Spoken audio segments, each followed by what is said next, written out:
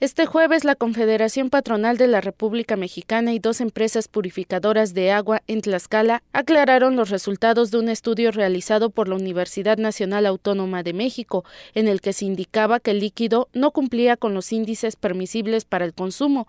En rueda de prensa, Marco Alfonso Santa Cruz Moctezuma, presidente regional Centro-Sur de la Coparmex, señaló que lo anterior fue una mala interpretación, lo que ocasionó un daño moral y económico a las empresas.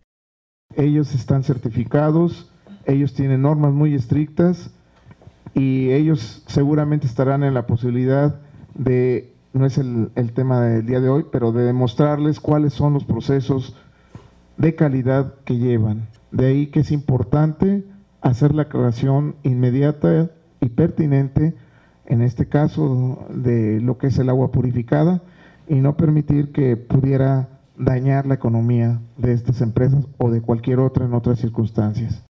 Dagoberto Vargas Domínguez, representante de la empresa Los Volcanes, señaló que se rigen bajo diferentes sistemas de certificación, por lo que dijo la interpretación del estudio fue incorrecta hacia su producto.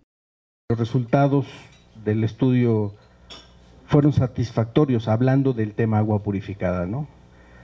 Fueron estudio a siete marcas, cuatro eh, de botella personalizada y cuatro en garrafón, en donde se, la UNAM aclara dicha situación. En concreto se trata de una incorrecta interpretación. Expresó que la actuación inmediata contrarrestó parte de los efectos colaterales, por lo que se espera que las pérdidas no sean mayores. Nosotros tuvimos obviamente llamadas, desde luego, en donde se suspendían los contratos y los servicios. Reaccionamos muy rápido, encontramos la solución de la UNAM, estamos en este proceso aclaratorio. Hoy solamente puedo decir que, está en proceso de aclaración y desde luego yo espero que no, no, no trascienda y que no genere hoy eh, pérdidas.